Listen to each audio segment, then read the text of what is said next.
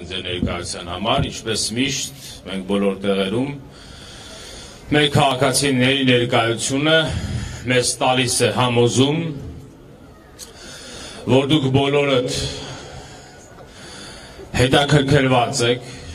անհանգստացած եք մեր պետության ճակատագրով եւ սա է նաեւ պատճառը ձեր այսօր այստեղ գտնվելուն։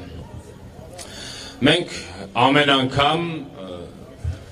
որևէ մեր խոսքը սկսելուց մենք սկսում ենք մեր պետության իրադրության վերլուծությունով։ Ինչու ենք մենք հայությունը, մեր ժողովուրդը անընդհատ հայտնվում խնդիրների կամ այսպիսի ցեխի մեջ։ Դրա ամեն անգամ որոնելով դրա համար բոլոր հնարավոր պատճառները։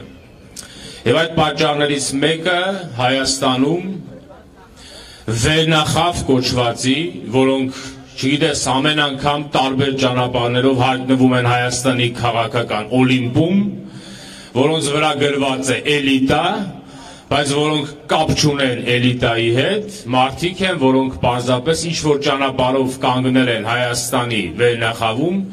եւ նրանց վարած քաղաքականության, բայց իրականության մեջ հակաքաղաքականության արդյունքն է, որ այսօր Մենք կանգնած ենք այսպիսի իրադրության առաջ նաև արտահերթ խորհրդանական ընտրությունների շեմին։ Դրա պատճառները բազմաթիվ են, բայց հիմնականը ո՞րն է։ Հիմնականը պետության ունեզրկումն է։ Այնինչ որ արել են այս մարդիկ, պետության հավաքական պոտենցիալի քամումը, արդյունաբերության ոչնչացումը, գիտության ոչնչացումը եւ պարզվում է այսօր նաեւ այս գիտության ոչնչացման ֆոնին ինչ որ 124 իրենց վրա մտավորականներ գրածի մանիֆեստը ի հաճություն գողապետության, բայց նաև պետության դեմ Պետության ունեզրկման հետ տեղի ունեցել Հայաստանում իրավական պետության անեացում, ժողովրդավարության ոչնչացում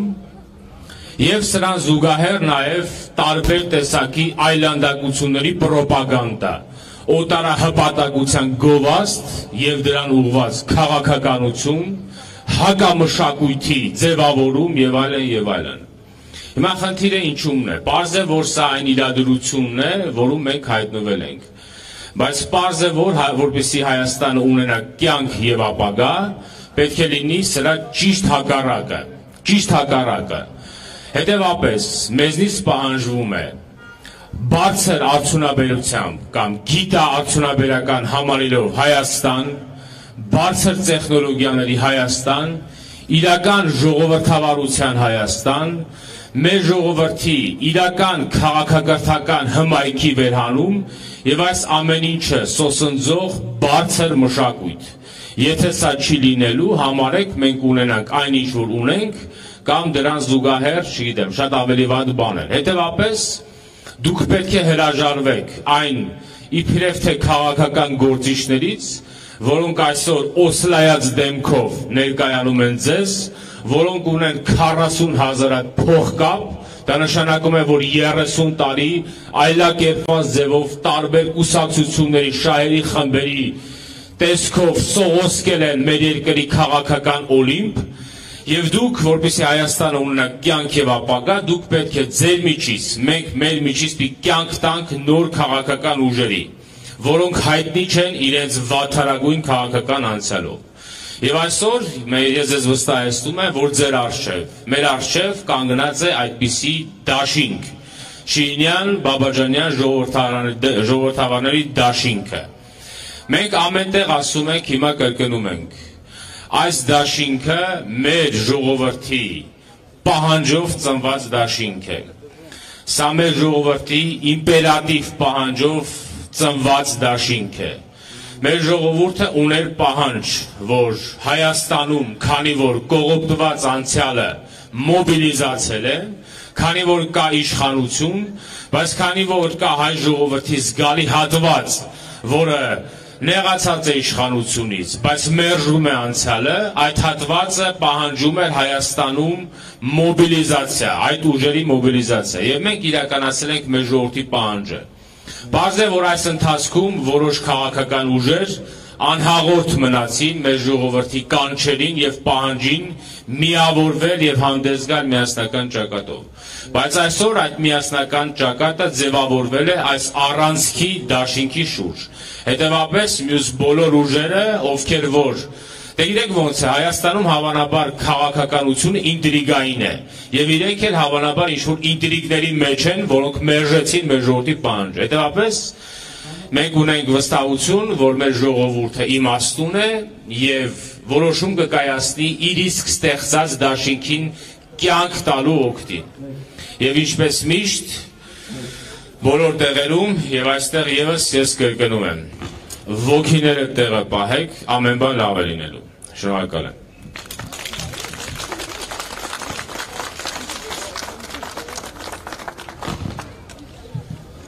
Հարգելի հայրենակիցներ, սիրելի վանաձորցիներ եւ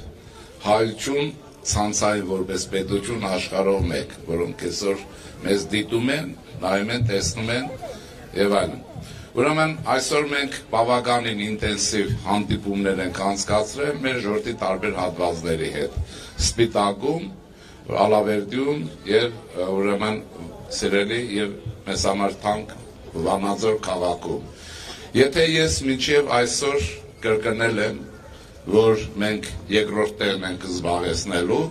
որովհետև դա քաղաքական հայտ է, եւ ասել եմ նաեւ, որ առանց այս դաշինքի խորհրդարան չի լինելու, մտներից է թանեք չի լինելու։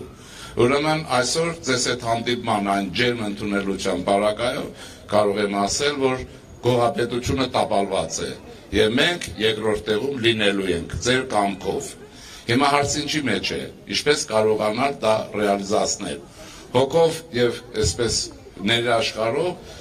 ձեր հոգիներում այդ այլանդակ երևույթը, որ Հայաստանի պատմության ամոթալի էջն է, մաֆիա, սպանություններ, գողություն, պետության թալան, եւ այլն եւ այլն, ինչ որ տեսել եք,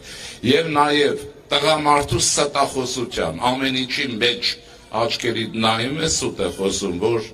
ինքը չի գողացել, ինքը հարստացել է։ Իրենք Մարտիրոս Սարյանի գծանկարներ չեն գողացել, այլ պատական է, եւ իրենք համաշխարային, հա, հանգստի ճակերտներում վայրերում գումարներ տանուլ չեն տվել։ Եվ այսպես, եւ շարունակում է խոսել, հետո չեք մեղությունը, վայ, ես ինչ է կատարվում ես իշխանության հետ, վայ, եւ այլն եւ այլն։ Կարծում եմ այս փարիսեցությունը ձեզ համար չափազանց արզ է, այլ պրիմիտիվ է անողների համար։ Այո, իսկապես ցավոք այն իրականությունը եղավ, որ ոչ միայն մենք հայրենի տարածք կորցրեցինք, տասնյակ հազարավոր հա զոհեր ունեցանք վիրավորներ եւ այլն եւ մենք կարևորը 30 տարի մսխեցինք եւ էլիտա չունեցանք վերնախավ չունեցանք ունեցանք փարիսեցիներ փոկաբոր հա գողավազակներ երբեմն շացավալի է եւ դրա օրինակները տեսանք տեսա ինչպես իր առողջության համար չեխոտկա կպնելուց վազում է Եվրոպա բուժվելու իսկ իրավունքի հետ գործառնելուց փախչում է Ռուսաստան տայգաներ, հետո վերադառնում է 4-րդ դասարանի կամ չգիտեմ, հա, բարձրագույն կրթության դիպլոմով, որովհետեւ կարողանան մասնակցել ընտրություններին։ Ամեն ինչ զեղծարարություն է, որովհետեւ սրանց Հայաստանը բոլորովին այլ Հայաստան է։ Բանաձևը հնարել են, այո, իրենք երթվում են, որ Կրիմնաշ, ես ասում եմ, որ Կրիմնինաշ, Կրիմվաշ, Արմենիանաշ եւ դա փոփոխության ենթակա չի։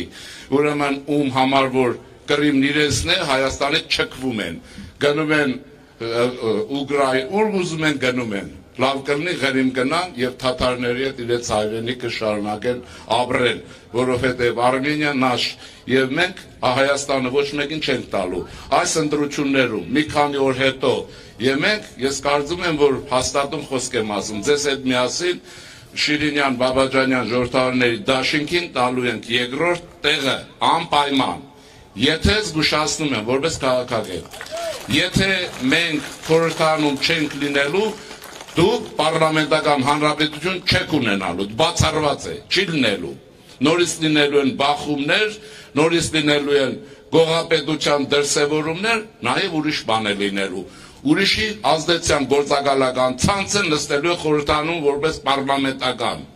եւ տավալելու է ցանկացած այն նախաձեռնություն, ինչը որ դրական է լինելու Հայաստանի համար։ Եվ նման բաներ, որովհետեւ դա չլինի, խորհրդանում պետք է լինի իշխող մեծամասնությունը, բայց երկրորդ տեղում կայուն զարգացող աճ կենտրոնի ժողովրդական կուսակցությունների դաշինք, ուրեմն այս առանցքի դաշինքը Սա ուժային բևեր է արդեն։ Կարող եմ երկու օրվա արդյունքով ասել։ Սա քաղաքական ուժային կենտրոնն է,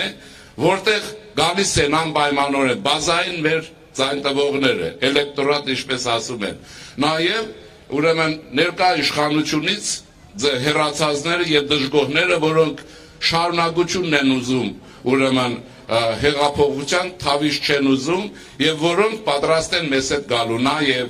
այն կուսակցությունների էլեկտորատը, որոնք ըստ էության իրենք էլ արդեն հասկանում են, որ շանս ունեն անցնելու դեպի խորհրդարան։ Դա ստացվում է, որ մենք համախմբվում ենք, կոնսոլիդացիա է տեղի ունենում ձեր կամքով եւ ձեր ցանկությամբ եւ Հայաստանի խորհրդարանի պատկերը մոտավորապես արդեն པարզ է բայց որովհետեւ այդ խորհրդարանը լինի մեր պետության կայուն զարգացման հիմքը Քոչարյաններ չեն անցնելու ուրեմն փողը դեր չի խաղալու խաղալու է ադմինիստրատիվ ռեսուրսը դեր դուք էլ մարդիկ եք ձեր բարեկամ ընկերներին ուրեմն պարտադրեք եւ չընթարկվեք նրանց կամքին Ընտրակաշարքի հարցով հետեւյալն եմ առաջարկում առաջարկել եմ կրկնում եմ Ուրեմն ով առաջարկում է ձեզ ընտրակաշարք, վզից բռնեք, քաշ տվեք ոստիկանություն։ Վզից բռնեք, քաշ տվեք ոստիկանություն։ Եվ մի օրում կազատագրվենք նրանից, ինչ արդեն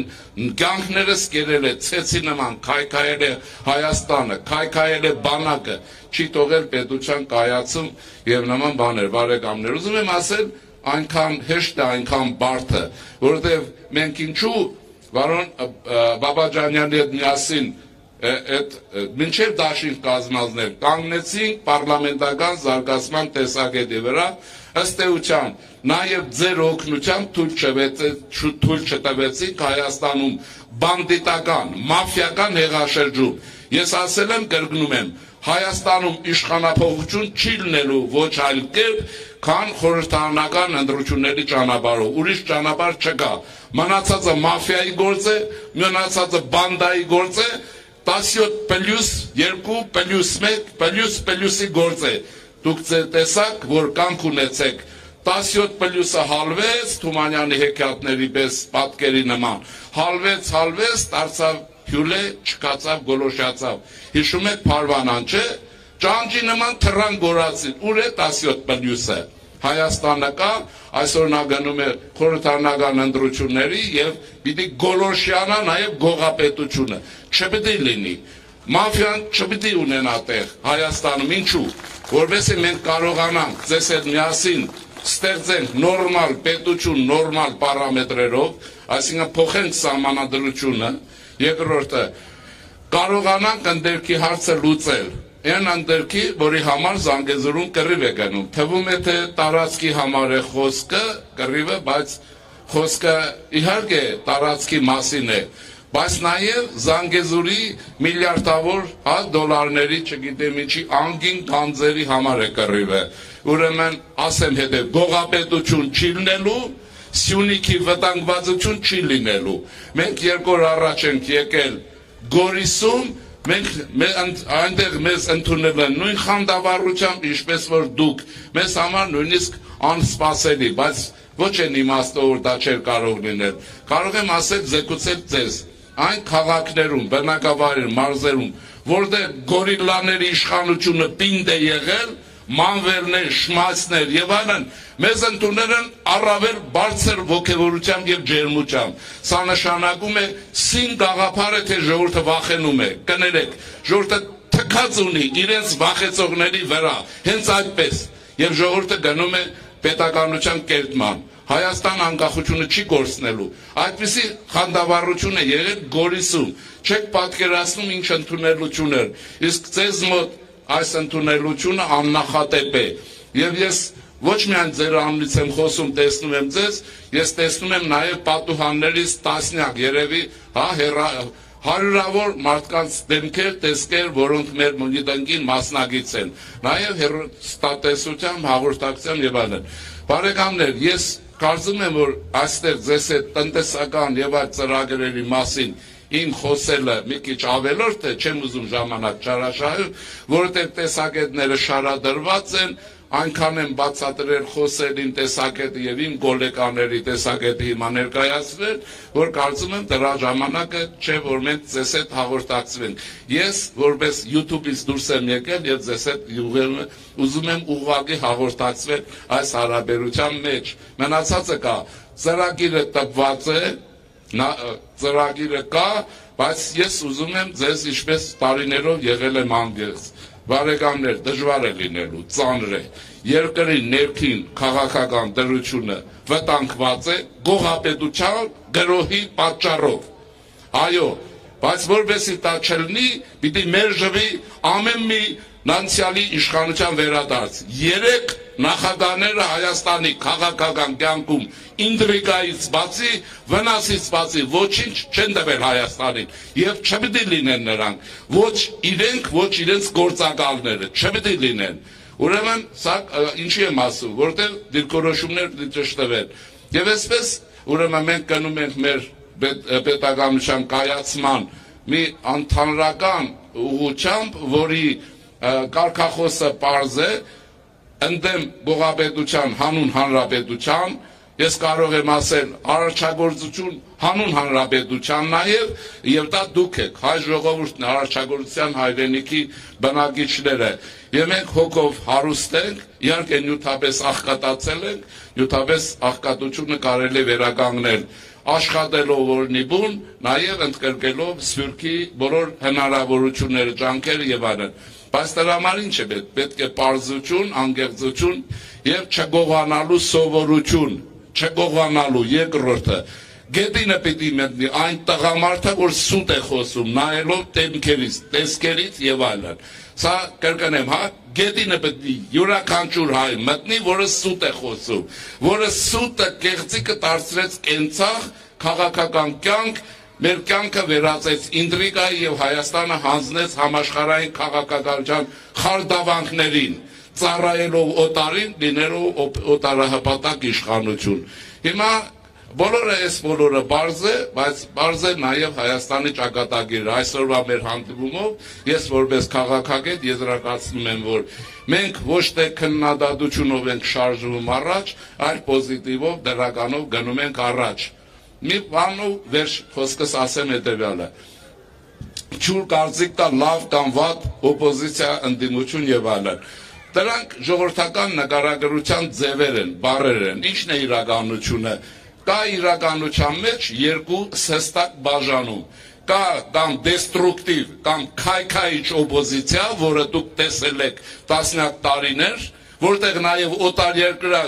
ազդեցության գործակալական ցանցեր են աշխատում,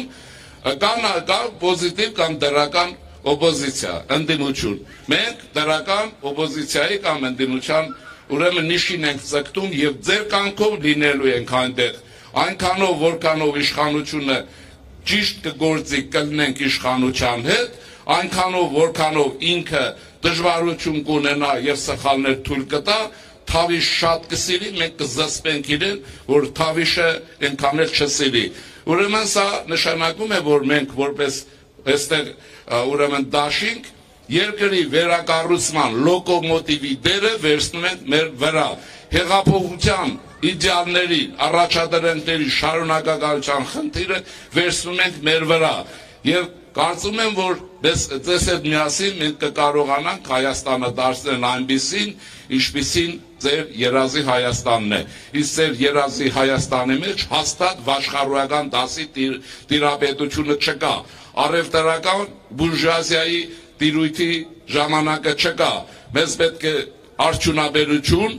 մեզ պետք է գիտություն, մեզ պետք է մշակույթ, մեզ պետք է վեհություն, հոգով մաքրվել։ Դրա համար կոչ եմ անում խոսեք հայոց գրական լեզվով։ Խայտարակությունը Թումանյանի հայրենիքում բարբարո բանը այդ ժարգոնով եւ այլ արտահայտությունները խոսելը այո կոչ եմ անում մի խոսեք ան ոչինչ չի նշանակում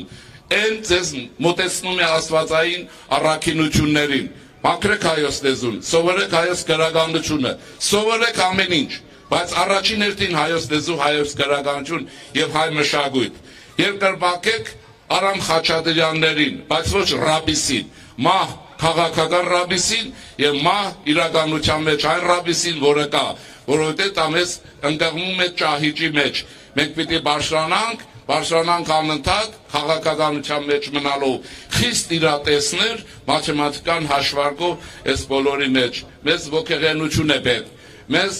գողապետություն պետք չի եւ կարծում եմ որ դուք վաղուց մերժել եք այս արտահայտությունը եւ այլն այնպես որ բարեկամներ շատ հաճելի է ձեզ հետ խոսելը երկար խոսելը բայց ես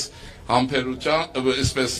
առանց էտելին ժամանակը չարաշահեցի, մնացածը կշարունակենք մեր ընկերների ելույթներից հետո։ Ուրեմն գնում ենք ընտրությունների, ստեղծելով Հայաստանի խորհրդարանում ձա աճ կենտրոնի ժողովրդական քաղաքական խմբակցությունը Շիրինյան Բաբաջանյան ժողովրդավարների դաշինքը եւ Հայաստանում ժողովրդավարությունը շրջած հետընթաց չպիտի ունենա Հայաստանում գորիլաների, դինոզավրերի իշխանության վերադարձ չի լինելու եւ մենք սադարելու ենք այս բարակայում այն իշխանությանը, որ այսօր ցկտում եւ հրաժա ուրեմն առաջարկում այդպիսի լուծումներ։ Մենք ցես հետ միասին ձեր սերկի դված գնում ենք մեր ճակատագրի կերտմանը, որը կամրաբնդի Հայաստանի անկախությունը, Հայաստանը կդարձնի դինամիկ աշխարհի համար բոլոր իմաստներով բաց հայրենիք ու պետություն, բայց պաշտպանելով սեփական ազգային շահերը։ Ուրեմն առաջ եւ այսպես նաեւ այսպես խոսել ենք պիտի ասվի այդ ակադեմիական իբրև թե գիտություն մենք ինքներս ակադեմիայում ենք մեծացել, դարձել գիտնական։ Դրանք հայ ժողովրդի տեսակետը չեն արտահայտում։ Սրանք Քոչարյան Ռոբերտից, Սերժից սնված գիտնականներ են, որտեղ բնակետներ կարգին չկան որտեղ մասնագետներ չկան, որտեղ մանիպուլյատորներ են, որոնք զարգվել են իրենց կերագրամանից։ Ես կարծում եմ նոր իշխանության ժամանակ մենք կունենանք տղամարդություն եւ ռիսկ կփոխենք այդ տնօրինների բոլոր ուրեմն այդ արտոնությունները կփոխենք նաև այդ անձնակազմը կկա նոր սերունդ ես ասեմ Սամվել Գևորքյանի սերունդը ֆիզիկոս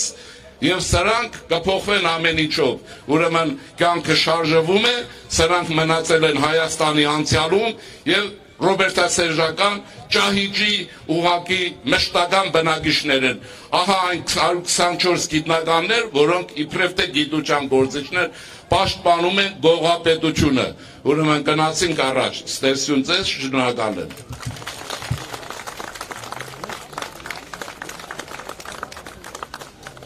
Բարև իմ սիրելի վանաձոր։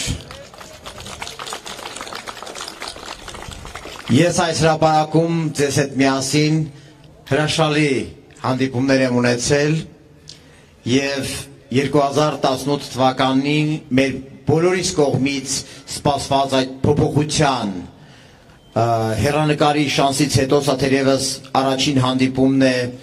որտեղ ազատության շունչը անպատկերացնելի զգացվում է եւ այդ ազատության շունչը, այն էլ Արցախի անունը գրող բուրակում, այն էլ Հայաստանի արդյունաբերության парքը հանդիսացող քաղաքներից մեկում պարտավոր ենք պահել հունիսի 21-ից հետո։ Մի դաշինք կա, ես մի հաղորդագրություն եմ կարդալու, որը ճանապարհին ստացա, լավ են գրել, ասում է միլիոնատերերի դաշինքը գնացել է Աշոց Կաղմասյան, եւ ասում են որ ճանշինի աշխատողներին ցուցակներով ներկա բացակայով պարտադրում են գնալ հանրահավաքի Ճանշին ընկերությունն էլ գյուղապետի ամուսնունն է։ Սա ընդհանրապես մի հաղորդագրություն է, որ ես ստացել եմ վերջին մեկ ամսվա ընթացքում։ Հավատացնում եմ ձեզ Քաջարանի պանզամոլիբդենային կոմբինատի աշխատողներից Գազպրոմի աշխատողներից, էլեկտրացանցերի աշխատողներից, որտեղ մարդիկ ուղակի ժողովրդական լեզվով ասած օզիկ են թափ տալիս, թե երբ է հունիսի 21-ը գալու, որ այս կեղեքիչները Հայաստանը ստրկացրածները հասկանան, որ իրենց գնացքը վաղուց գնացել է։ Եվ իրենք ինչ ավտոբուսով էլ ման գան, քանի ավտոբուս էլ պտտացնեն, այդ ավտոբուսների վրա կամ պլակատների որքան էլ գրեն դեպի ուժեղ Հայաստան, այդ դեպի ուժեղ Հայաստան ճանապարհը այլևս իրենցով չի անցնում եւ այդ քվեաթերթիկով չի գնալու Ես պատմելու, ես խոսելու եմ երկու հիմնական խնդրի մասին, որոնք սերտորեն առնչվում են այս քաղաքի եւ մեր հանրապետության արդյունաբերական պարքին և խոսելու են պատերազմից ու արդակին կաղաքականությունից։ Հարցեր, որոնց մասին շատ եք տվել վարաձոր այցելության ընթացքում և որոնք ծույց են տալիս այն ճանապարը, այն դժողքը, որի մեջով անցեկացրել այս միլյոնատերերի դաշինքը, որը իրակ ամեն ինչ կարող էր իրեն անվանել, բայց ոչ Հայաստան, եւ լավագույն դեպքում տեղ գտնեին Forbes-ի Ես կասեի նույնիսկ նույնիսկ Գինեսի ռեկորդների գրքում, որտեղ օրինակ ոստիկանության հասարակայնության հետ բաժնի պետը կարող է դոլարային միլիոնատեր լինել։ Սա է եղել ճանապարհը, որով Հայաստանին բերել են հասցրել թշվառության պատերազմի շեմին։ Այսօր այդ մարդուն ներկայացնում եմ որպես Արցախյան պատերազմի չգիտեմ հաղթանակած հերոս ինքն էլ գրքեր է մակագրում կարծես թե այդ հաղթանակը ինքն է կերտել Այդ հաղթանակի կերտման մեջ մասնակից բազում մարդկանց էս այս հրապարակում, իմ թիկունքում կանգնած մարդկանց այդում եւ իմ ուրեմն հարազատ քրոջս ընտանիքի անդամ երկու տղամարդիկ, որոնցից մեկը երեք Արցախյան պատերազմում է կռվել, այդում եւ վերջին Սեդայի տղան եւ այստեղ նստած այլ զոհված հերոսների շնորհիվ եւ եթե նրանք չեն խոսում, եթե նրանք գրքեր չեն գրում, դա չի նշանակում, թե ոմանց թույլ է տրված հաղթանակը սեփականաշնորել, այն դեպքում, երբ իրենք այդ հաղթանակի մսխողներն են եղել։ 98 թվականին մեր հասարակությանը ալեկոծեց Արցախի խնդրով զարգացումները, երբ մեր սեղանին դրվեց այսպես կոչված ուրեմն փուլային եւ փաթեթային տարբերակները հաղթանակած եւ այդ հաղթանակի համար բարձր գին վճարած հասարակությունը անշուշտ չէր հրաժարվելու իր հաղթանակից իր ազատագրումից եւ հավատաց մի սրվակի, որը մեզ մատուցվեց որպես ծարավի դեմ միջոց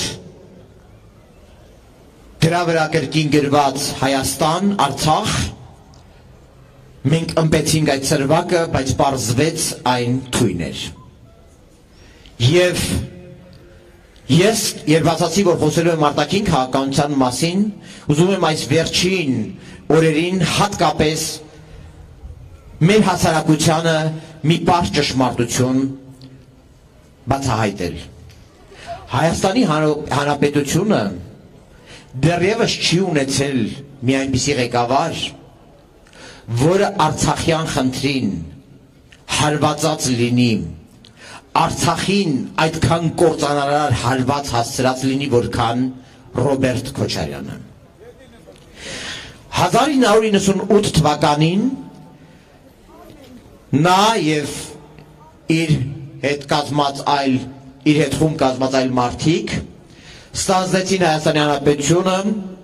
հայտարարելով թե իրենք ունակ են ապահովելու 8000-9000 քառակուսի կիլոմետր քառակուսի կիլոմետր տարածքով Արցախ, ավելին նույնիսկ Շահումյան վերադարձնել։ Ես հիշեցնում եմ, որտեվ այսօր այդ մարդը, չգիտեմ ում ուղեղն է գերել, բայց ասում են հադրութը, հատկապես Արցախում, հադրութը Շուշին վերադարձնելու ես հիմա ձեզ համար առաջին անգամ բազում բացահայտումներ եմ անելու։ 98 թվականին այս խոստումները տալուց կարելի ասել վայրկյաններ անց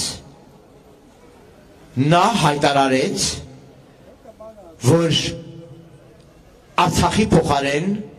ինքը բանակցելու որպես բանակցորդ եւ այն տարապանքը, որով Արցախը դարձել էր բանակցությունների սուբյեկտ, ուղակի իջիկս դարձավ։ Եվ պատկերացնում եք, գիտեք բանակցություններին մասնակցությունը, Արցախի օրինական ընտրված իշխանությունների հետ շփումները դրանք ճանաչվածության որոշակի մակարդակ են, կոչվում են փաստացի ճանաչում։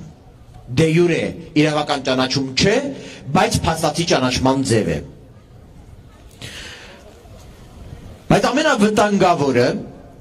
որ կոնֆլիկտը եւ պարտավորությունները բերվեցին միջազգայինորեն ճանաչված Հայաստանի վրա։ Այդ թվում 7 շրջանների զիջման պարտավորությունը, որը Արցախի վրա դնել աշխարհը չէր կարող, որովհետև դա անելու համար պիտի Արցախին ճանաչել միջազգային իրավունքի սուբյեկտ եւ ասել ես ճանաչում եմ, բայց դու վերադարձնում ես, դա չարվեց եւ մեզ բերվեց եւ պարտավորությունները այդ 7 շրջանների վերադարձի ծածուկ հայ ժողովրդի թիկունքում բերվեց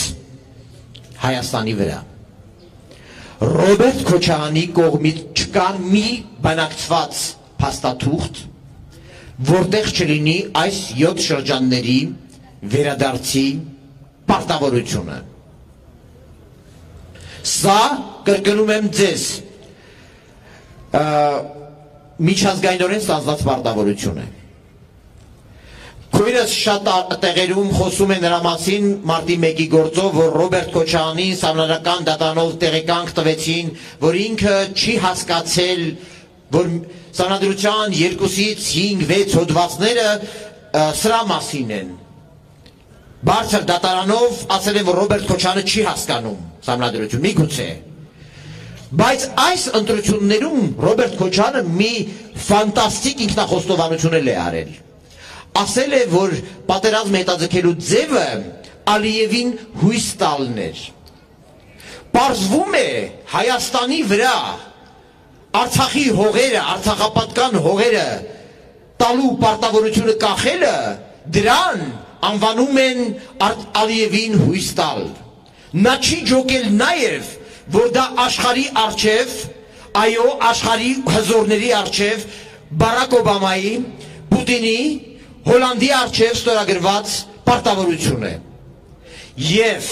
Մինչ կհասնեմ մադրիդյան առաջարկներին, որոնք Ռոբերտ Քոչարյանի բանակցային ժառանգությունն են, թողնված իր իրավահաջորդ Սերժ Սարգսյանին, որը շարունակվեց եւս 10 տարի,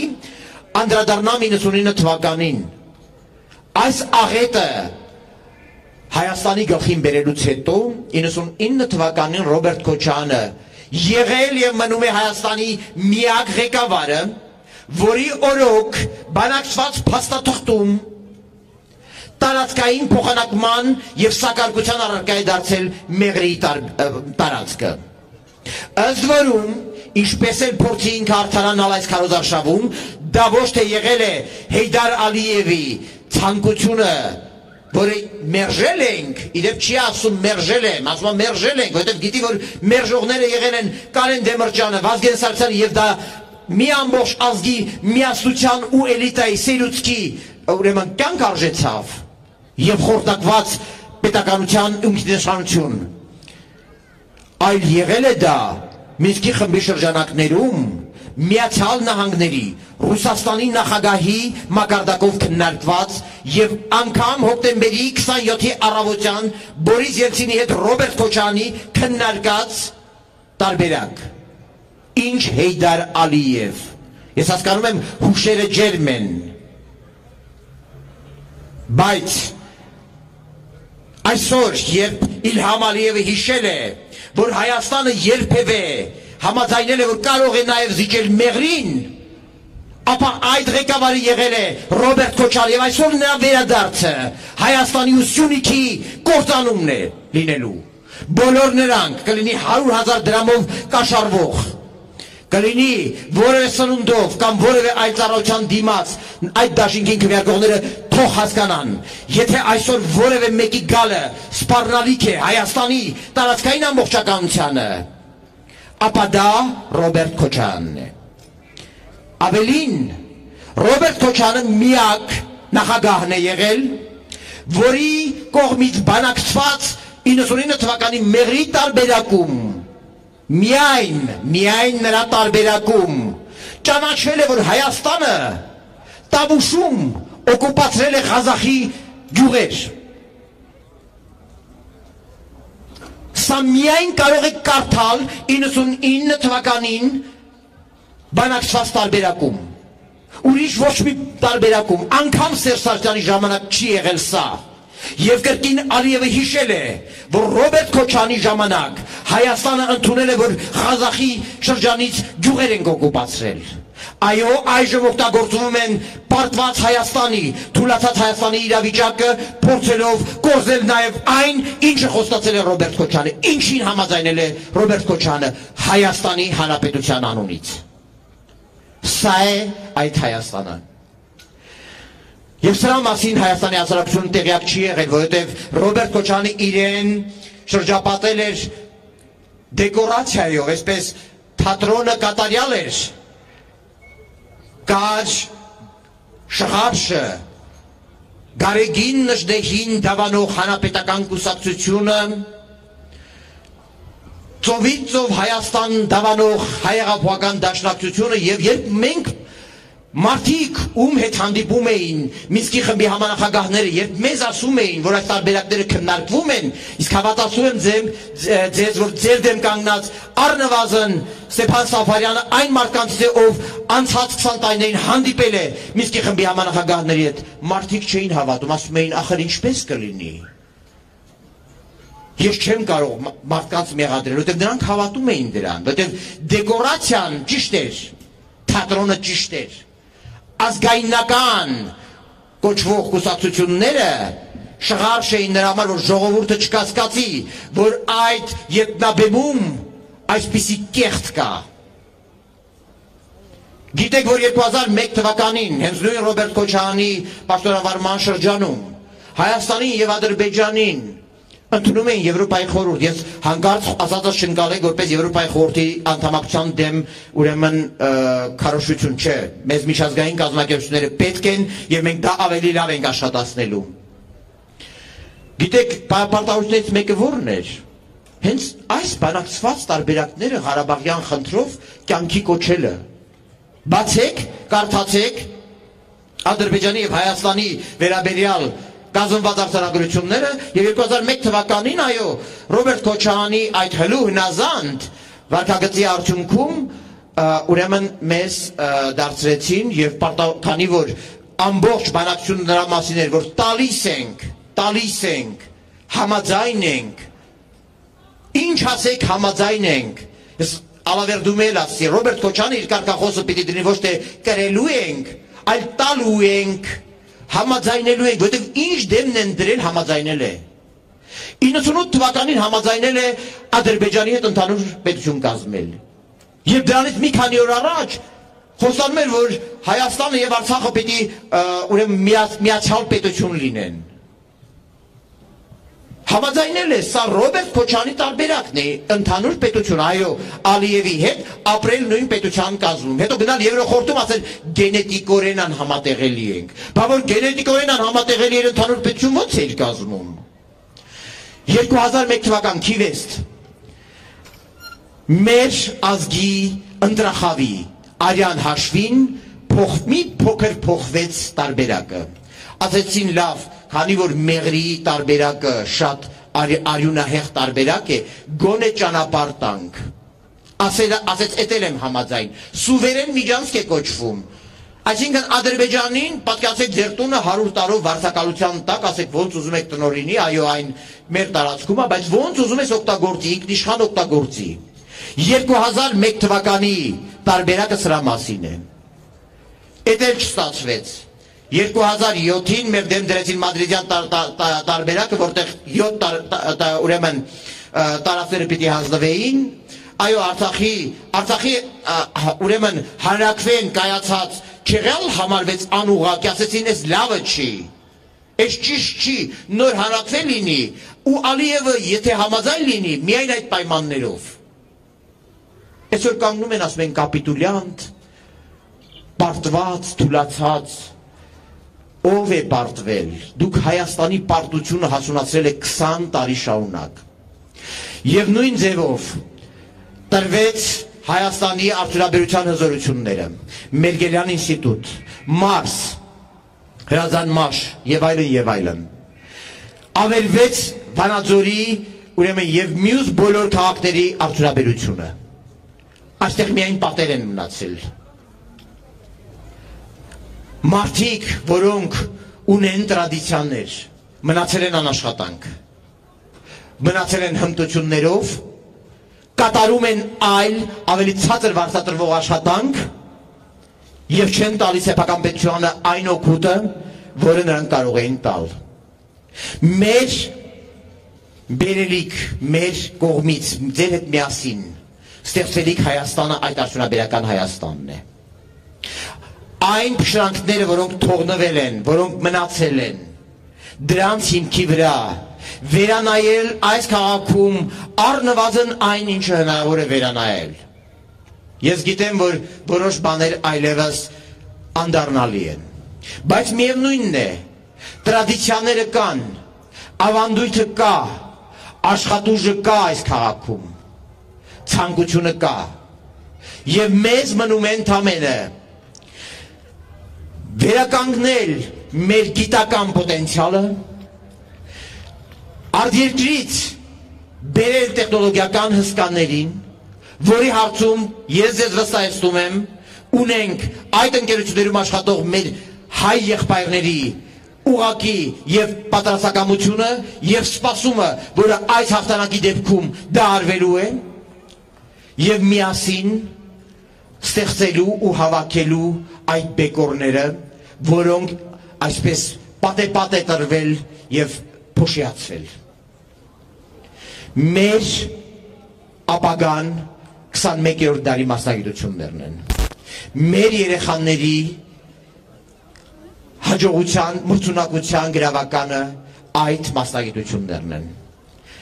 Մենք պիտի արմատապես փոխենք կրթությունը։ Մտնենք դպրոց։ Երեխաներին վաղ տարիքից շահագրգռենք, որպեսզի նրանք իսկապես ընտրեն ապագայի մասնագիտություն որպեսի նրանք մրցունակ լինեն աշխարհում, բայց աշխարհը բերեն Հայաստան եւ ոչ թե Հայաստանից արտագաղթեն դեպի ավելի մեծ աշխարհ։ Մեր երեխաների միջոցով պիտի նախապատրաստենք մեր հաղթանակը։ Մեր սերնդին երևի թե այդ առաքելությունն է մնացել, որ այլևս թույլ չտալ որևէ նման հակապետական հակազգային դեմքի խեղտել թթվի քարի նման նստել Հայաստանի հերանեկարի վրա եւ այդ արդյունաբերությունը իր ահրելի բաժինն է ունենալու ռազմարդյունաբերության տեսքով որպեսի մեր զինվորը այլևս չսպասի թե մենք երբ ենք սպյուրքի կամ մեր հանգանակած փողերով դիտարկման սարքեր առնելու, որ ուղարկենք սահման, սահավարտ առնելու, չգիտեմ, պրոնեժիլետ եւ այլ պարագաներ մեր բանակը կարգի ենք բերելու եւ ոտքի ենք կանգնեցնելու։ Մենք այլևս չենք լինելու սոս ծառայություն մատուցող հասարակություն այո ծառայությունների մատուցումը զարգանալու է բայց մենք լինելու ենք բարձր տեխնոլոգիաներ վաճառող պետություն մենք լինելու ենք այդ բարձր տեխնոլոգիաներով գյուղատնտեսությունը հագեցնող պետություն առողջապահությունը հագեցնող պետություն նայեք թե որքան թարապանց հայ դուստրեր եւ եղբայրներ են ստեղծել ամենալավագույն սպառազինությունները ավիացիան ամեն ինչ, տեխնիկան, հպարտանում ենք բայց հպարտությունը մեզ իսկ դրանից ստացված արդյունքը բոլորին, բայց ոչ մեզ։ Խոսելու շատ բան կա, բայց ավարտում եմ հետևյալով։ Ովքեր մտածում են, որ հիասթափված են, թող հիշեն հիասթափությունը ճանապարհ չէ։ Եթե գտնում են, որ այնքան հիասթափված են, որ այդ հիասթափությունից դրծված իրենք պիտի 100.000 կամ չգիտեմ 200 դոլար վերցնեն, հիշեն մտնում են մեծագույն մեղքի տակ։ Մտնելու են մեր բոլորիս անեծքի տակ։ Չեմ ուզում կանանց ներկայությամբ ավելի դաժան բան ասել։ Այո, մտնելու եք այդ ամենի տակ թքելու ենք ձեր երեսին, եթե փորձեք հերթական անգամ, հերթական հայորդու գերեզմանը նախապատրաստել։ Մենք այլևս զոհաբերության ենթակա սերունդ չունենք։ Մեր սերունդների հերոսությունը եւ հաղթանակը միայն պիտի լինեն իրենց մասնակցության դաշտում։ Եվ վերադարձ վերադարձը մեր հայրենիքի լինելու է այլ միջոցներով այս դարին ներհատուկ եղանակներով։ Եվ ոչ ամենևին անպատրաստ կանգնեցնելով զինվորին 21-րդ դարի զինատեսակների եւ 5-րդ սերնդի զինատեսակների արժևան պաշտպան։ Թուրքը ադրբեջանցին ոչխար էինք ասում, բայց համակարգչային խաղով էր գրվում մոնիտորներով սա է 21-րդ դարի պատերազմը մտածեք սրա մասին մի մտածեք պատերազմի մասին բայց մտածեք այն երկիրն ունենալու մասին որով եւ խաղաղություն ենք պարտադրելու եւ նաեւ հաղթանակ եւ այդ հաղթանակի համար աշխատանքը օրնիբուս սկսելու է հունիսի 21-ից Շնորհակալություն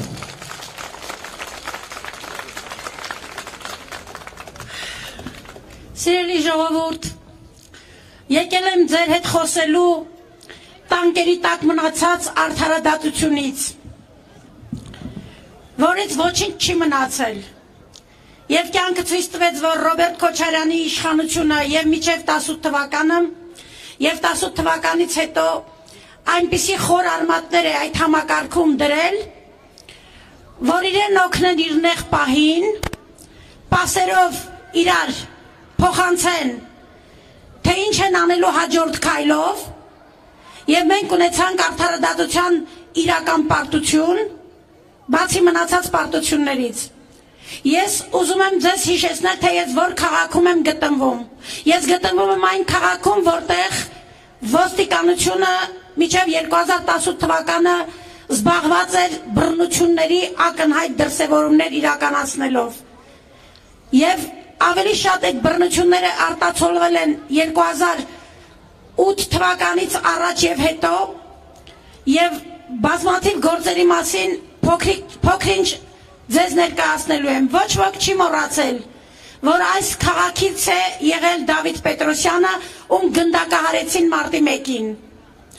ոչ ոք չի մոռացել որ 1999 թվականին Լոռու մարզում դատապարտվեց Արմեն Պողոսյանը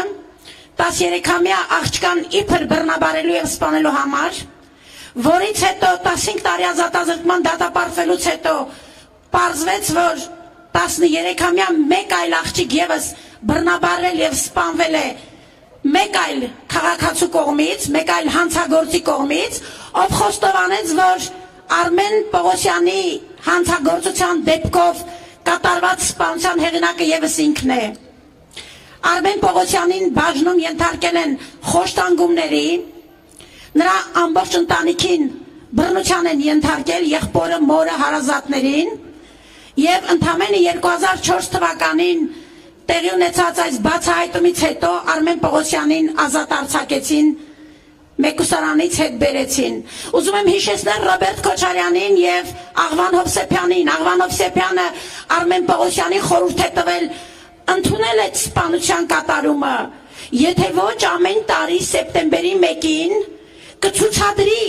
այդ տեսանյութը իրենք ինչ որ տեսանյութ են իրենց համար քննչական փորձարարություն անունը կրել կրող գործողության ամրագրել իսկ այդ քննչական գործողության ժամանակ դուք տեսնում եք թե օպերատիվ աշխատողները ոնց են Արմեն Պողոսյանին ցույց տալի սպանության վայրը եւ սպանության կատարման եղանակը այսինքն փոխանակ Արմեն Պողոսյանն իրեն ցույց տար ինչա կատարվել եթե ինքն էր արել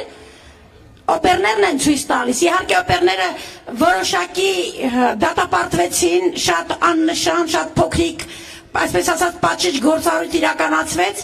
բայց Եկեք հիշենք, որ ամեն սեպտեմբերի 1-ին իսկապես Արմեն Պողոսյանի կյանքը դժոխք սարքելով համար հանրապետության նախկին դատախազը, ով եղել է Քոչարյանի հենարանը, իրավական համակարգը այլանդակողը, եւ այս համակարգը միջև այսօր չի կարողանում իր մեջ գնուղել, կարողացել է իր խոսքի տերը լինել 5 տարի շարունակ սեպտեմբերի 1-ին այդ տեսանյութերը հրապարակվել են որպեսի Արմեն Պողոսյանին մեկ ուսարանում վատ դրության մեջ դնեն դուք հասկանում եք ինչ է նշանակում մարդուն անհիմն դատապարտել բռնաբարության եւ սպանության մեղադրանքով հասկանում եք չէ ինչպիսին է եղել մարդու վիճակը սրանք ճակատագրեր են եւ այս ճակատագրերի հանդեպ դուք իրավունք չունեք ուղակի այսպես ասած անտարբեր անցնել Ես ընդհանրեն իմ գործերից կարող եմ ասել Նայնեն Ալբանդյան, Բագրատ Նալբանդյան, ովքեր խոշտանգվեցին Վարդենիսում 2004 թվականին եւ Եվրոպական դատանը 62000 եվրո անարդար դատական քննություն իրականացնելու համար Հայաստանին պատժեց Արմեն Պողոսյանի գործով Հայաստանին պատժեց 33000 եվրոյով։ Սա նշանակում է, որ այսպես շարունակաբար Գրիշա Վիրաբյանով 2006 թվականին Արտաշատում ոստիկանության կողմից բռնության ենթարկվեց եւ Ռոբերտ Քոչարյանի անազնիվ իշխանությունը իր անազնիվ ոստիկանության հետ աշխարհին փորձում էր համոզել, որ Գրիշա Վիրաբյանը ընկել է աթոռից եւ վնասվել է նրա կենսական կարևորագույն օրգանները այս կարգի ողբերգություն միայն կարող է նրա իշխանության տարիներին տեղի ունենալ եւ ես կարող եմ այսպես անverջ ամբողջ օրերով խոսել ինչ կարգի գործեր են եղել ես չեմ մոռացել որ 2003 թվականին Սուրեն Գրիգորյանին Երևանի պետական համալսարանը ավարտած տղային բանակ զորակոչվել էր Արարատի մարզ Մուրադ Աբրահամյանի զորամասում 15 սպաներով ծեծի ենթարկեցին եւ նրա խոսակցական ապարատը վնասեցին։ Նա խոզի նման խռասնում էր եւ ուզում էր բառ արտաբերեր։ Եվ այս ամենի հեղինակը այն իշխանությունը, որի մասին ես այսօր խոսում եմ, ընդհանրապես ինքը իմ ժողովրդին չի էլ հետաքրքրում։ Եթե չգա եւ այսպես ասած հայտնվի ժողովրդի կարևորագույն ճանապարհների խաչմերուկում, եթե չգա եւ այսպես ասած կրկին նոր տարապանք պատճառին ժողովրդին ես կարող եմ ընդհանրապես մոռանամ իր գոյությունը, որովհետև 10 տարի շարունակ ես իրավապահ համակարգի հետ աշխատել եմ եւ անուն առ անուն կարող եմ ասել այն ոստիկանապետերին, ովքեր ծառայել են Ռոբերտ Քոչարյանին եւ նման են եղել նրան ոստիկանություններում հարգված է եղել բռնությունների կիրառումը, ծեծը եւ որևէ մեկը իրավունք իրավունք չունեցել դիմելու կամ ինչ որ ակնկալիք ունենալու իշխանությունից, որ կարող է ինչ որ բան փոխվել։ Եվ պատկերացնեք Սուրենի գործը կիսատ թողեցի, չասացի թե ինչ էր կատարվել։ Սուրենին 15 սպաներով ծեծի էին ենթարկել եւ երբ Սուրենը ձեռքը բարձրացրել էր այդ սպաներից մեկի քթին, կպել էր Սուրենի արմունկը Սուրենին մեղադրյալ էին ներգրավել, իսկ այդ ծեծողին տուժող։ Ողբերգություն, ողբերգություն, տանկերով տրորեց Հայաստանի դատայրավական համակարգը մենք ես 90-ական թվականներից աշխատել եմ եւ հավատացեք ես չեմ կարող անգամ համատականներ անցկացնել չեմ ասում 90-ական թվականները եղել են մի շատ լավ տարիներ բայց այն ինչ որ ես նկարագրում եմ այդպիսի խայտարակություն չի եղել Սա ուղակի մարդատյացության դասական օրինակ է ու խոսել մի մարդու հերոսության մասին կամ հերոս բաղն այսքան այլանդակել ուղակի ողբերգություն է, որ իմ ժամանակակիցները, իմ երեխաները, իմ երեխաների ընկերները կարող են այս կարգի արժե համակարգ ունենալ եւ ուրիշի ցավը իրեն ցավը չհամարելով գնալ եւ կանգնել Ռոբերտ Քոչանի կողքը ու քարոզարշավներին մասնակցել։ Սա իսկապես ազգային դժբախտություն է որովհետև Հայաստանի օրինապար ժողովուրդը չի կարող հանցագործություն կատարելու հակում ունեցող մարդու փորձի բերել քաղաքական աշխարհ, քաղաքական դաշտ եւ այդ քաղաքական դաշտում ինչ որ դերակատարում տալ 2008 2004 2008 թվականները Հայաստանի պատմության մեջ են մնալու իհարկե 2004 թվականին քիչ է կանդրադառնում, բայց ապրիլի 12-ին ազգային ժողովի շենքից չերեմուխը կիրառվեց Հայաստանի խաղաղ հանրավակ իրականացնող ժողովրդի վրա։ Այդ այն ազգային ժողովն է, որը թույլ է տվել զենք մուտ գործեն եւ իրականացնեն 27-ի ողբերգությունը։ Դա այն ազգային ժողովն է, որտեղից չերեմուխա են կիրառել։ Աշխարհի պատմության մեջ դուք չունեք այդպիսի բան աշխարհում մենք մեր արդարության եւ մեր այս կարգի իրավիճակների առումով վերջի տեղում ենք։ Մենք ոչնչացած պետություն ենք, որպես արդարություն ակնկալող պետություն, մենք այսպես ապրել չենք կարող, որտեղ եվրոպական դատարանը տասնյակ գործերով իմ իմ համար գոնե դատական ակտեր է կայացրել։ Եվ հավատացեք, եթե ես 100-ն ուղարկեի 100-ից 70-ով այդ կարգի որոշումներ կծնվեին, պարզապես ես էլ ունակ չեմ, այդքան ուղարկեմ։ Եվ ընդհանրապես եվրոպական դատարանը փրկությունը չէ մեր, որովհետև եվրոպական դատարանում նաև բացի այն որ իրավունք են ուզում պաշտպանել, նաև տեսնում են թե մենք ինչ իրավունքի կրողներ ենք, ու ես վիրավորվում եմ, որ մեր ազգի պատմությունը դեմքը հասնում է եվրոպական դատարան, բայց հարկադրված եմ, հարկադրված եմ հիմա մարտի 1-ի գործով սպառված համարել Հայաստանում ներպետական պայքարը եւ անցնել առաջ։ Հո չենք կարող տեղում դոփել։ Ու ինչ հաստատվելու, որ տասնյակին հասնող դուժողների գործերով կրկին Հայաստանի պետությանը պատժելու են, բայց ոչ Ռոբերտ Քոչարյանին։ Նրանք հասկանում են, թե ինչ է կատարվել 10-20 տարիների ընթացքում Հայաստանի պետության իշխանավորների կողմից ինչքան է ոտնահարվել Հայաստանի քաղաքացու շահերը, բայց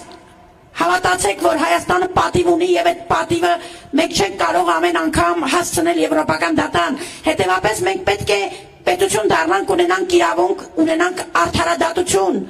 ունենանք նախաքննական մարմին, որը անկաշկանդ լինի, իշխանություններից կախվածություն չունենա, բայց արդար քննություն տանի եւ արդար լուծումներ տա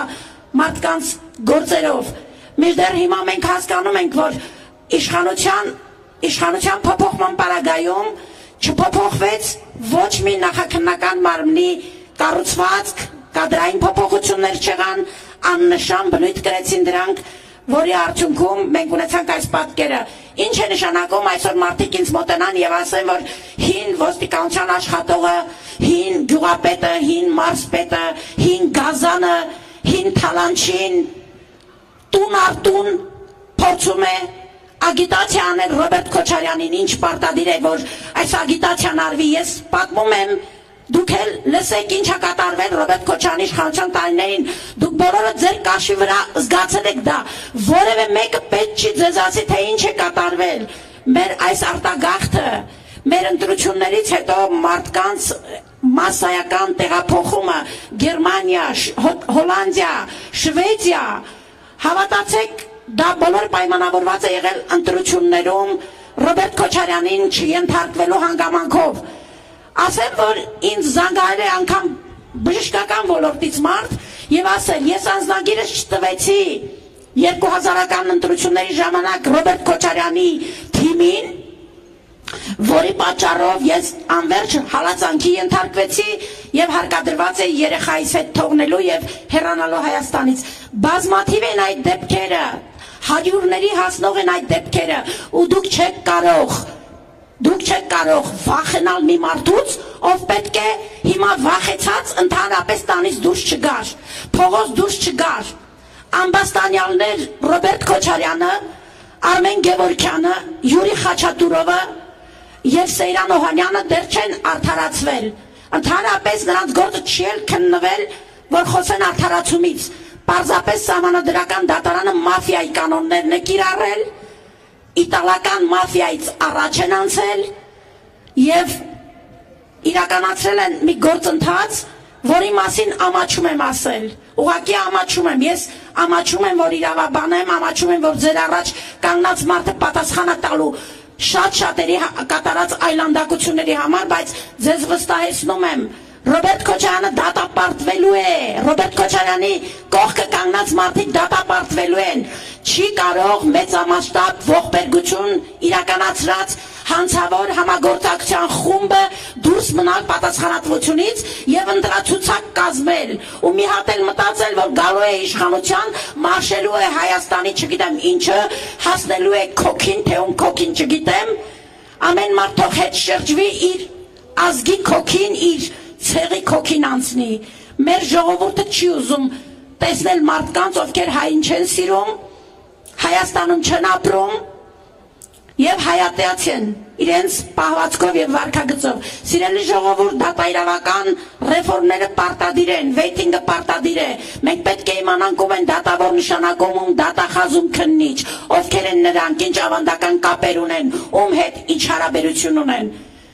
շատերը հեղինակությունների եւ հանցագործների հետ ավելի շատ կապ ունեն քան ես որպես դատապաշտպան Ես իմ պաշտպանյալներին այդպես չեմ պաշտպանում, ինչպես իրենք են պաշտպանում հանցագործությունը, նույնանում հանցագործների հետ։ Եվ ես ուզում եմ դուք հավատաք, որ Հայաստանում կան լավ մարդիկ, ովքեր այս պայքարը իրենց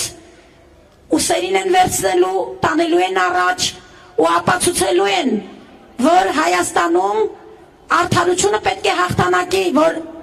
այս ժողովուրդը արժան է ապրելու արդար երկրում։ Եվ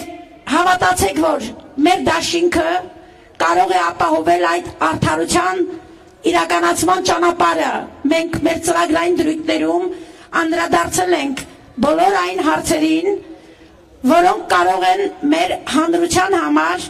ապահովել արդարությունը, օրենքի գերակայությունը եւ բոլորը օրենքի առաջ հավասար են սկզբունքը դուք զգաք ձեր մաշկի վրա։ Շնորհակալություն։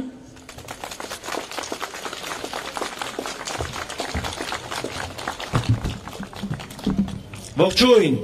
Վանաձոր, ողջույն, սիրելի հայրենակիցներ, մեզ արցանց հետևող մեր հայրենակիցներ, հազարավոր, ովքեր Հայաստանում չեն, սփռված են իսկ փյուրս աշխարի մենք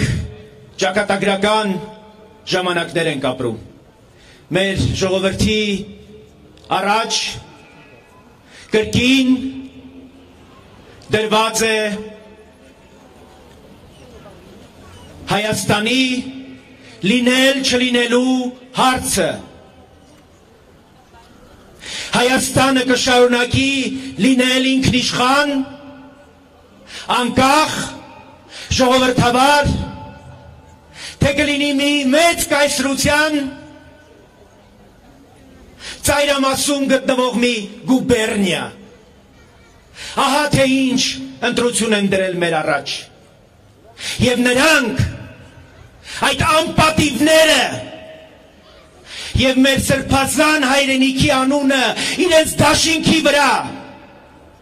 դրած այդ ենիչերներ, այդ ներքին թուրքերը մեզ տանում են ծայրամասային այդ գուբերնիայի ճանապարով եւ նրանք ովքեր այս օրերին գործարքների են գնում այդ ընտրակաշարքների ճանապարով պատրաստ են այդ թուրքերին մեր արյունը խմած, մեզ կեղեկած, հարստահարած այդ ոչինչներին կվետալ, թող հիշեն, որ գերեզմանում են մեր հայրենիքի ապագան, մեր հայրենիքի ժողովրդավար հերանկարը,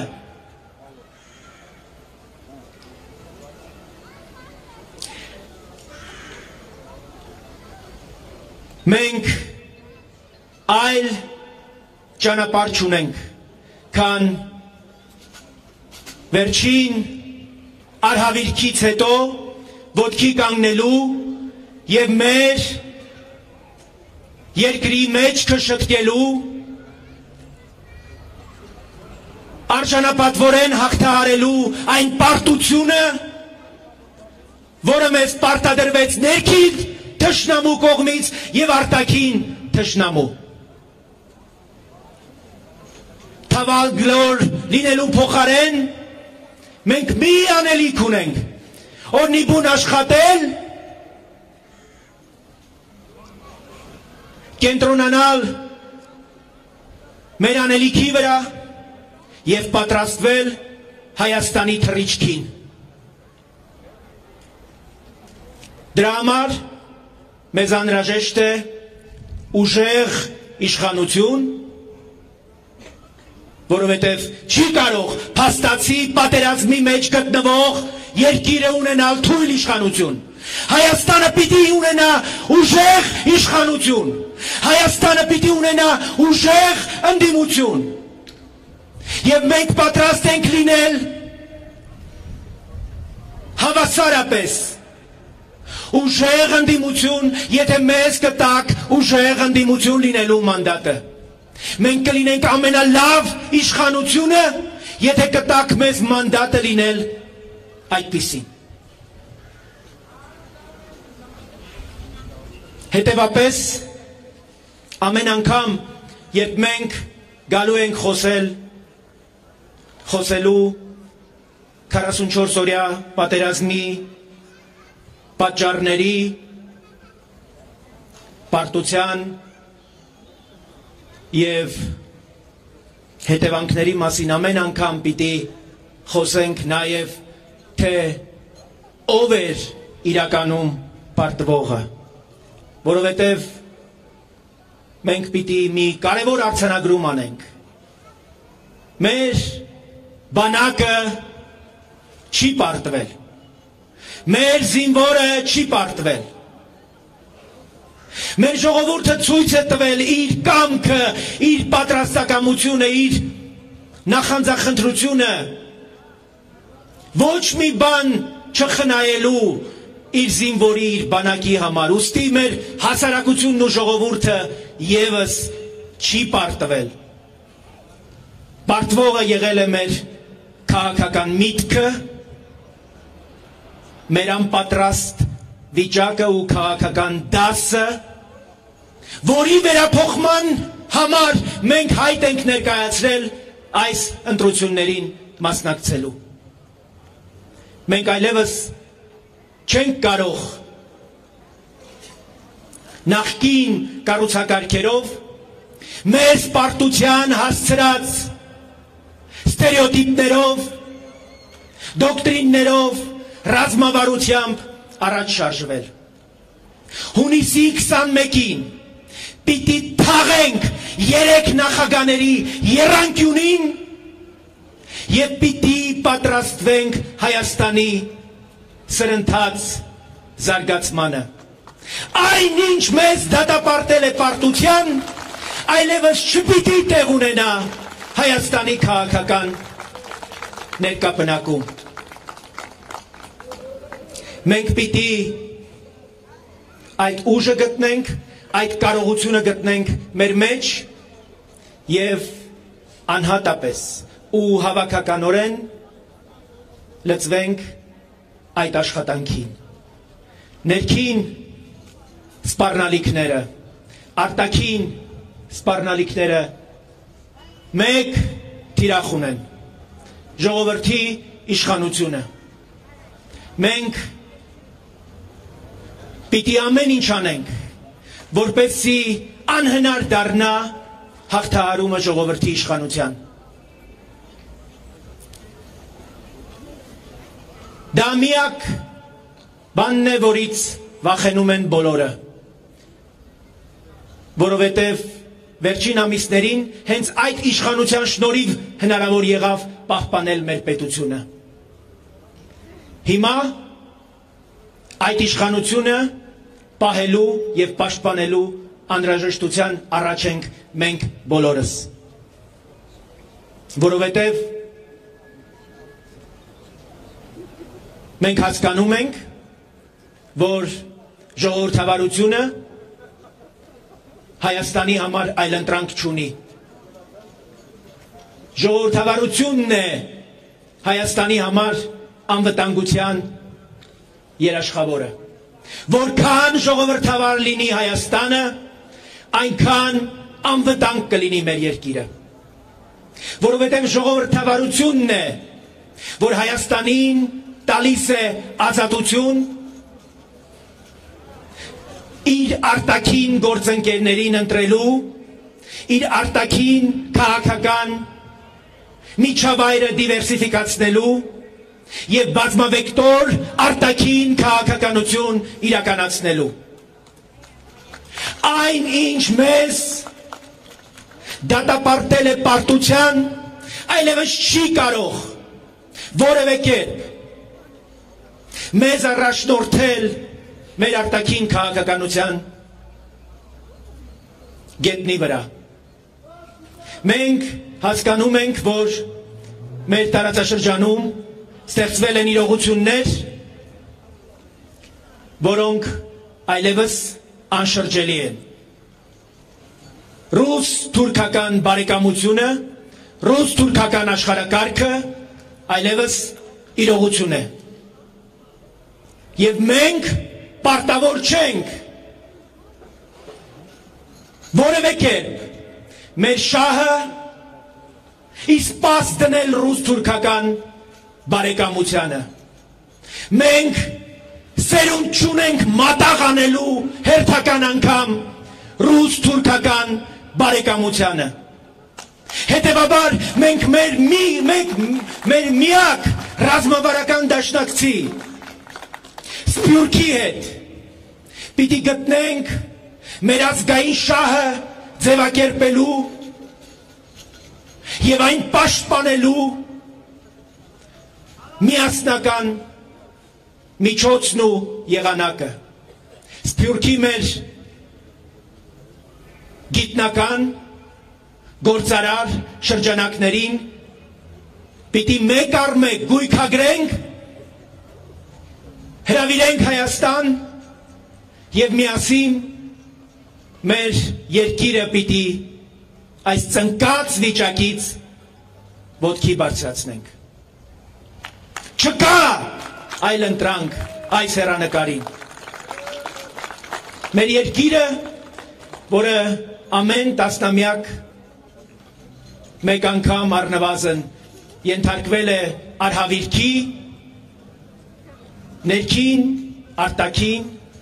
սպառնալիքների այս մղձավանջից դուրս գալու միջոցներ պիտի գտնենք։ Բայց դրա համար նախ եւ առաջ պիտի գնահատենք մեզ հետ տեղի ունեցած երևույթները ես առիթ էի փնտրում, որպեսի նույն հարկի տակ գտնվեի Քոչարյանի հետ եւ նրան մի քանի հարց ուղեի կապված հոկտեմբեր 27-ի հետ։ Գիտեք, ես երկու տարի առաջ հանդիպել եմ Նայրի Հունանյանին։ Եվ Ռոբերտ Քոչարյանի ու Նայրի Ունանյանի առանձնազրույցի որոշ դրվագների վերաբերյալ պիտի ուզեի, որպեսի նա մեր ժողովրդի առաջ պատասխաններ հնչեցներ։ Ինչ կապ ուներ իր աշխատակազմի ղեկավար Ալեքսան Հարությունյանը այդ առանձնազրույցի առանցքային դրվագների հետ այդ ոչրագործությունը պատրաստելու նախապատրաստելու հետ եւ այն պահին երբ Նայիրի Ունանյանը առաջարկում էր Ռոբերտ Քոչարյանին վարչապետ նշանակել Որն է եղել Ռոբերտ Քոչարյանի պատասխանը Ես գիտեմ այդ պատասխանը Սպասում եմ, որպեսի այդ տեղից գա այն պատասխանը, որը իրականում տեղի է ունեցել, ես կհնչեցնեմ առաջիկայում։ Այն դրվագները, որոնք լույս կսպրեն շատ ու շատ անձանց մասնակցության, դերակատարման վրա եւ առանց զարմանալու պետք է ասեմ, որ Դրանց հիմնական այսպես շերտերը այսօր Ռոբերտ Քոչարյանի թիմում են եւ այն կուսակցությունը, հայեղափոխական դաշնակցությունը, որը ակտիվ դերակատար է եղել Նայիրի Հունանյանի ահաբեկչությունը ահաբեկչական այդ մտադրությունը ոռոգելու մեջ եւ շատ ու շատեր այդ թվում Վազգեն Մանուկյանը ովքեր նաև վերջին ամիսներին ամեն ինչ անում էին որպեսի Հայաստանում իշխանության հարցը չհասնի ընտրության։ Փառք ու պատիվ մեր ժողովրդին, որ որևէ կերպ թույլ չտվեց, որ այդ հերանեկարը Հայաստանին սպառնա։ Ի վերջո մենք հասկացանք, որ ժողովրդի իշխանությունը ան բեկանելի եւ անկասելի է եւ մենք ամեն ինչ պիտի անենք, որպեսի այդ իշխանությունը պաշտպանենք ամեն գնով։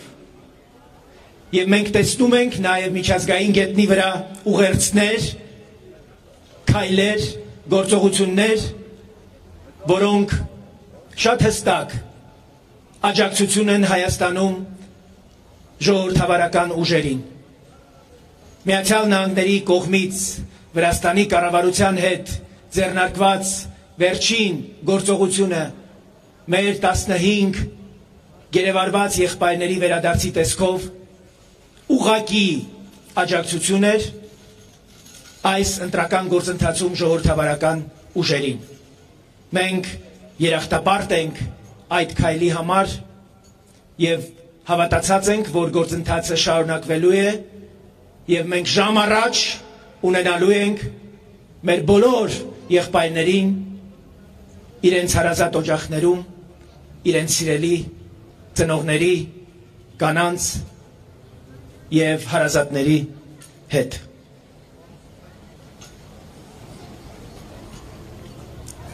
Սիրելի հայրենակիցներ մենք մեր մտքում պիտի ունենանք արհավիրքը, հիշատակը, մեր հազարավոր նահատակների Արցախյան առաջին պատերազմի, երկրորդ պատերազմի, երբ կատարում ենք այդ ճակատագրական ընտրությունը, որովհետև նրանք իրենց կյանքը նվիրաբերեցին հանուն ինքնիշխան Հայաստանի, հանուն Հայաստանի պետականության մենք չենք կարող որևէ գնով վաճառքի հանել նրանց հիշատակը որևէ ընտրակաշարք 100 դոլարի 200 դոլարի հասնող չի կարող որևէ կերպ որևէ կերպ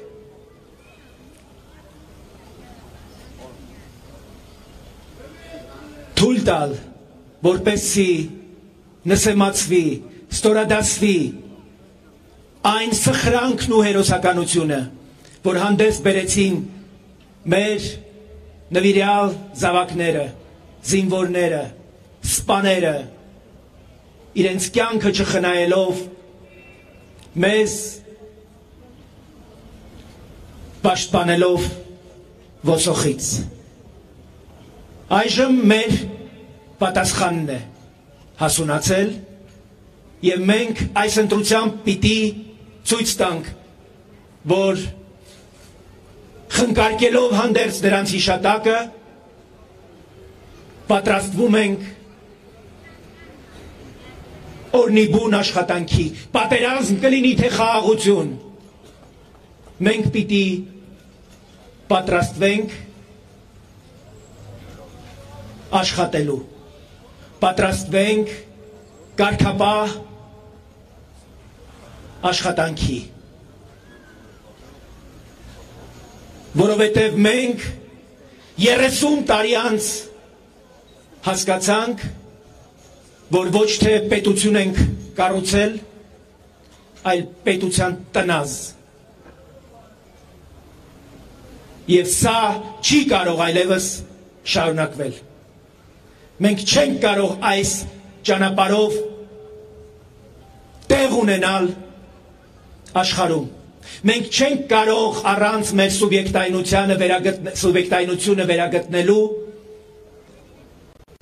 տեղ ունենալ այն սեղանի շուրջ տեղ ունենալ այն սեղանի շուրջ, որտեղ քննարկվում է Հայաստանի հարցը։ Այսօր մենք մեծ հասցրել ենք մի վիճակի, երբ ուրիշներն են որոշում մեր խնդիրները։ Սա այլևս չի կարող շարունակվել։ Մենք պիտի գտնենք ներուժը,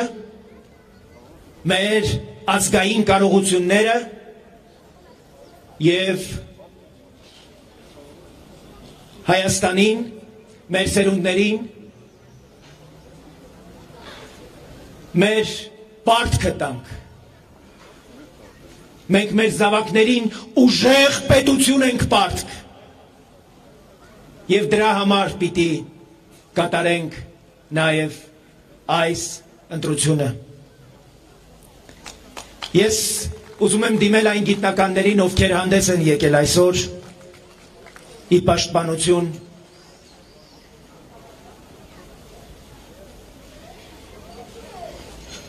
բանդիտների, մաֆիոզների, գողերի, ավազակների եկեք գնանք միասին շրջենք սահմանամերձ բնակավայրեր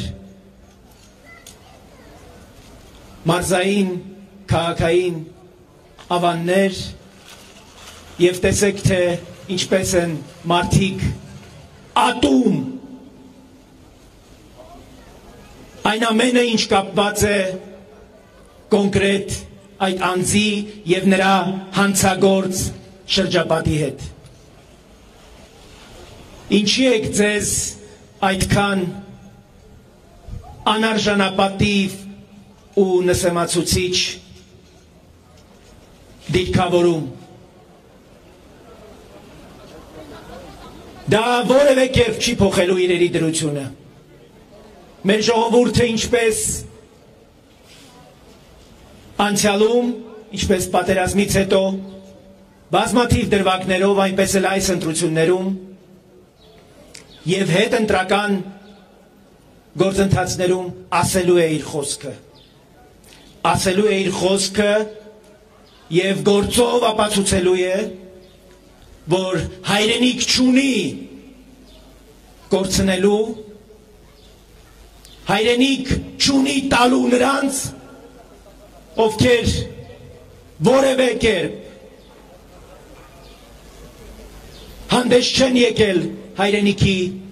պաշտպանության հայրենիքի կարողությունները ամրացնելու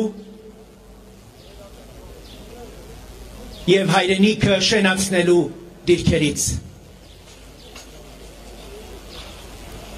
Ես դիմում եմ ամենայն հայոց կաթողիկոսին։ Մենք բոլորս հայ առաքելական եկեղեցու զավակներ ենք։ Եվ ակնկալում ենք, որ այսօր եւ վաղը եւ դրան հաջորդող օրերին Մեր եկեղեցին պիտի վեր կանգնի քաղաքական կողմնորոշումների իր այս մեզ համար, մեր ժողովրդի համար անընդունելի գործելավոճից եւ վերացարկվելով պիտի հաշտություն ու համերաշխություն բերելու օրակարգով հանդես գա։ Մեզ պետք չի քաղաքական կողմնորոշում ունեցող հոգևորականություն մեզ պետք չի եւ մենք մերժում ենք քաղաքական կողմնորոշում ունեցող եկեղեցի եւ կաթողիկոս եւ մենք կանգնելու ենք այն միջակայքում այս բևերների միջակայքում ու թույլ չենք տալու որպեսի մեր պետությունը ճկվի եւ հրավիրում ենք որպեսի դուք բոլորդ միանաք մեզ եւ անհրաժեշտ հավասարակշռություն բերեք մեր երկրին եւ թույլ չտակ երբեք որպեսի այդ հավասարակշռությունը որևէ կերպ սասանվի եւ մեր երկիրը ցնցումների ենթարկի Մենք այս դաշինքը ստեղծել ենք ձեր պահանջով Մենք մյուսների նման կարող էինք գնալ մեր ճանապարհով, ամեն մեկս կարող էինք հավաքել այնքան ձայն, որքան որ գտայիք։ Քանի որ դուք եք եղել պահանջողը, դուք եք այս դաշինքի սեփականատերը։ Դուք եք մեր ծրագրերի շահառուն։ Եվ մենք ձեզ հրավիրում ենք մասնակցել այդ ծրագրերի իրագործմանը դառնալու այդ ծրագրերն իրագործողը թեև թիկունք դարձած միասնաբար լծվելու օրնիբուն աշխատանքին մենք անընդհատ վերադառնալու ենք այստեղ եւ հաշվետու ենք լինելու մեր աշխատանքին մենք վերադարձնելու ենք փառքը այս քաղաքի վերացնելու ենք գողապետության կնիքը այս քաղաքի վրայից ամեն օր հիշեցնելու ենք մեր կարգախոսը ընդդեմ գողապետության հանուն հանրապետության ընդդեմ գողապետության հանուն հանրապետության ընդդեմ գողապետության հանուն հանրապետության Արթուր Նալբանդյաններն ու Սամվել Դարփինյանները տեղ չեն ունենալու մեր քաղաքական միջավայրում գողերը, բանդիտները, ավազակները պիտի դուրս չպրտվեն մեր հայրենիքից Եվ ուրեմն իգործ տբա լավը և տբա հաղթանակ իմ ընկերները հաջաբար ընկան հանում այ հոյի որ փակեն ճամփան